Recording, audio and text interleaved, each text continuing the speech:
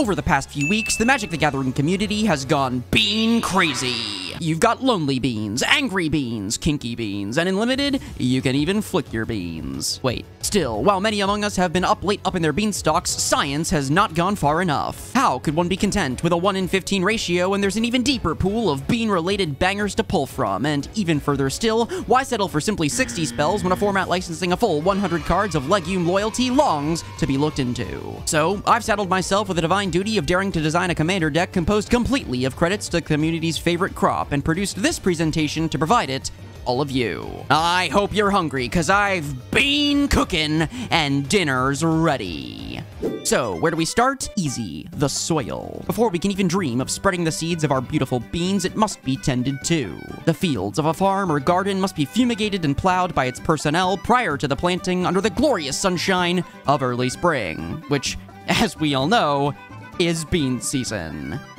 According to Google. Once our fertile ground has been properly prepared, the beans can then be planted, and as the season passes, you can watch and wonder as their roots take hold, start to sprout, and finally flower in the wake of your careful cultivation. But be warned, it's not all smooth sailing, because unsurprisingly, there are a number of pests primed and ready to pounce on your precious product. Rabbits, beetles, and mites, for instance, are all about the beans, so pray to the gods above that your earlier efforts are enough to shelter the fruits of your labor no pun intended, and ward away infestation. Nonetheless, if you do the job right, come harvest season, your yield should be bountiful, perhaps even abundant enough to call for celebration, and you'll be ready and raring to compile a caravan, make your way to market, and cut a deal with consumers. After all, if you aren't, I fear the famine that festers in its wake. It should be obvious, but the aim is to save some succulent snacks for yourself as well. You know the saying, everyone's got mouths to feed. And what can I say? When it comes down to it, after a long day's work,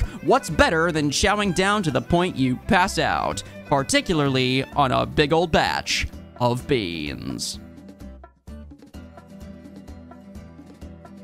Now, it should come as no surprise, but this is easily the best deck I've ever built. After a massive sample size of a single game, I'm still sporting a 100% win rate, clearly proving that beans are the most broken thing you can be doing in Magic at the moment. So, the ball's in your court, Rules Committee.